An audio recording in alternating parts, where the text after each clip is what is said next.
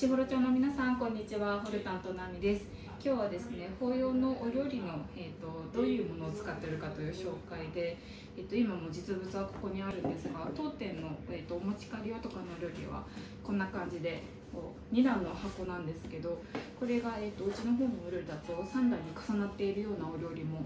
あります。で、えー、と中をちょっと開けてみるんですけどこんな感じでちょっ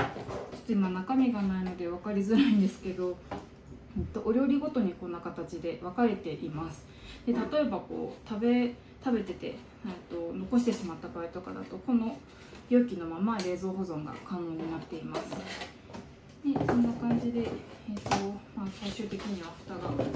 感じであるんですけど今はなかなかこうこういう状況で法要の後とかに過食ができない方が多く多いんですけれどもそういった方にこういうお持ち帰り用のお料理がすごく人気があります。でこのお料理にはですねこんな形で専用の紙袋がついてきます。でこの紙袋がもう紙なんですけどすごくあのしっかりした、えーと、紙袋になってます。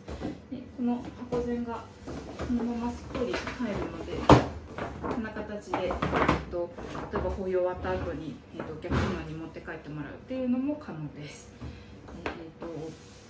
今は、えーと、お伝えしたんですけどこういう状況でなかなか会食ができない方で、まあ、悩んでらっしゃる方も多いと思うんですけれどももしこれから法要の予定があったりだとかする方でぜひもう頼んでみたいなとか気になるなって方もしいらっしゃいましたらぜひ一度ご相談をいただけるとすごく嬉しいです。